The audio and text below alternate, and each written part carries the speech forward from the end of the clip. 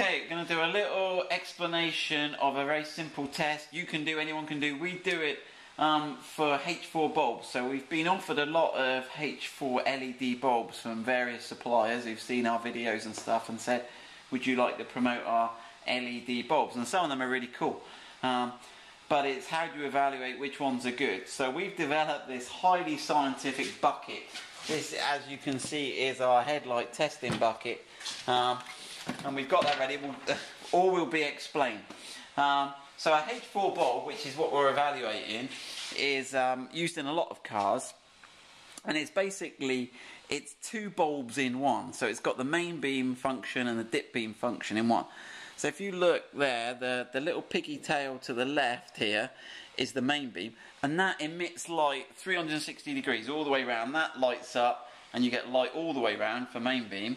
But for the dip beam, it's more controlled. So you've got the same filament, but it sits with this little dish. And the little dish stops it shining light to the bottom segment of the headlight and it only shines light up. Okay, so why does it do that? So this is a, a, headlight, a typical 7 inch headlight, and I've drawn these lines, but if you look sort of behind the lines, you can see the markings and you can see it's asymmetrical. So this is a right hand drive headlight for the UK market, and that the, the bulb needs to illuminate this area I've done. So it's more than 180 degrees, it's more than half the circle, because this area here that comes down further, when you're on the driving, will illuminate the pavement. So let me just explain. So here I've done a little sketch of a typical UK road scene and this is our car with our steering wheel and we're driving on the left hand side of the road. We're driving in this direction okay? Now we want the light. We don't want to blind the oncoming drivers. So we want the light to be flat and then what we want it to do is to kick up on this side so we can see this little pedestrian here walking on the pavement. So that the pattern the way a headlight works it sort of swaps as it goes through the lens so it starts so all the light that goes on the top here actually comes out down on the ground because of the way it reflects. So it's quite important when we get these bulbs to check where the light's going. So on a H4 bulb, the top pin is the fatter pin and these two are the smaller ones, so we know it goes that way up. It's got three connections.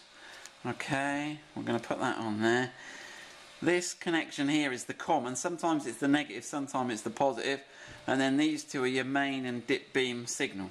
So we're going to put that in the bucket. And then if we put the dip beam on, right, you will see, if you look from above, you'll, you'll, you'll see, we can see where the light goes to. If I wobble it, you'll see that the, there's a boundary here, and you'll see it comes all the way round here. Okay, and we've marked this line on here with a H. We've got a H round on the side of the bulb. So that's the halogen. So that's our reference point. And you can see if I take that out of there, it goes from the sort of 90 degree, the 3 o'clock, and it comes all the way round. Um, similar to that one. So it illuminates, it will be illuminating all this top segment. Okay? So let's have a look at some LED bulbs, okay? Now, some of the, whoa, some of the early LED bulbs were pretty grim and they were this sort of style. Um, I wouldn't bother with these at all. But the newer ones now are getting pretty sophisticated. So let's pick this one. So it's got three high power LEDs on each side. That's the main beam. So you can see that will illuminate, and that's the top. So it'll illuminate pretty much 360 degrees. And then what it's got here, it's got a little cup similar to the H4, if you can see that and that's making sure the light goes up. So let's have a look what sort of light pattern goes. Now, it's interesting to know all these LED ones are quite cool. They've got little grub screws here, and you can actually move the position of the light backwards and forwards, and you can rotate the light relative to this. So you can actually optimize the light quite a lot. They also have this, most of them have a similar design with a removable heat sink. So if you've got to put it in a small cavity, let me just show you this. This is quite cool because often you get the rubber. There's a rubber grommet on the back, a weather seal. When you put that in there, you need to you need to remove it. So what you can do is you can unclip this, okay, and then you can put that into the light. You can put the weather shield over, and then you can spin the heat sink. It doesn't matter which way you put it on, but you can put it on it any way you like. Okay, but we're not too worried about that right now. That's just a, another thing to look at when you're looking at LED bulbs. This one's got three pins and this little connector. And then this little box of tricks here is the electronic driver. This is what gives it the correct current to make the LEDs work right. So we're going to put that, we're going to put the top at the top. I'm going to connect that there. They've got the same connector as the halogen. Well done Ian. Ian's doing the filming and the... Right. Okay, so let's have a look. So again, we're going on dip beam. Now you can see, right, there's a couple of things to notice on this one. So if we line the right hand side up with there, it's, it's going nearly as far as the halogen. But the thing we didn't like about this one is it's got this big dark section at the top. Okay, right, let's put the main beam on, and we didn't do that with the last one, but let's have a look where the main beam goes. So again, the main beam, it, you can see it's got more coverage, it's pretty good, but it's got a dark section at the top and a dark section at the bottom.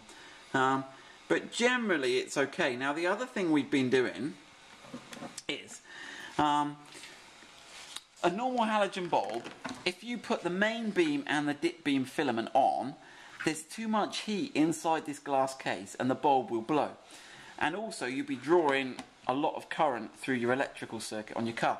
The LEDs take far less power for the same light output. Do you remember what we tested ours at? Dip was It- one. One, that's 0.5 amps or Yeah. something, which is like 16 watts for the equivalent light output of 50 watts. So it's taking in the region of a quarter of the power.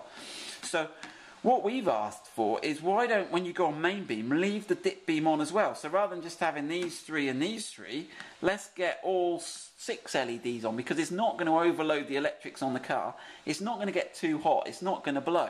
So, um, right, so let's have a look. We've got these glasses here, and let's see if this will work. So let's put the dip beam on first, and let's see if we can see how many we've got. Still bright.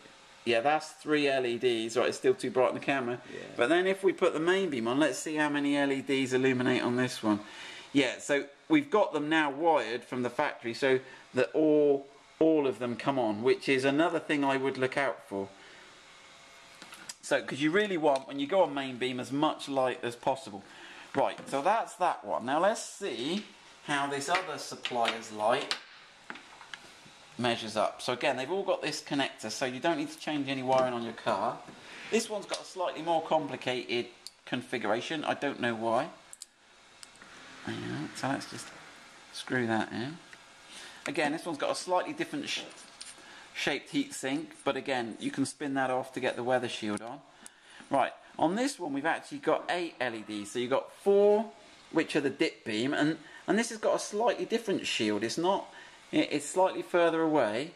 Um, so we've got, totally, we've got 16 LEDs on this one. So this looks pretty neat, this one. Right, so I've got that there. So let's go for dip beam again, Ian. Right, so let's get that one lined up. Now this one's got a really good coverage. This is coming round better than the halogen, really. So that's really going to help with the kick up. And we've got a dark area, but not as not as defined at all as the as the other one. So we actually prefer this bulb. Um, and if we yeah, do the main beam as well. Yeah, and main beam, you see, you've got 360 degrees there of, of pretty good coverage. Now, what you might notice is you, you might, I don't know if you can see this on the camera, with my hand in the way, the top half is slightly brighter because you can see that those, you're on main beam, but those dip beam lights are actually giving you that. Still on on this It's one still as well. on as well on this one as well, which gives you the top half, which on the road will mean you've got more light on the road. Um, so that's how we've tested them. Let's have a quick go, see if we can see all eight Don't know on. if we need those. Don't know yet. Yeah, you can see Nice. that. You can see all eight, Dip. and that's dip. Yeah, and that's just the four. So there we go. There's some testing. By all means, buy some bulbs, test them yourself. We're gonna stop this one. We're gonna put this one on the website because we've tested it and we think that's that's pretty good. Good luck with that.